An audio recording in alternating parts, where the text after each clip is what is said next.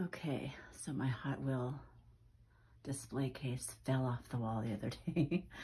and um, it actually turned out okay because I've been wanting to add some backlights, some lights to it, period. Um, and I did. So I think it came out pretty good.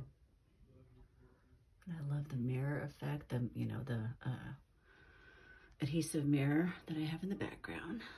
But it came out pretty cool. I liked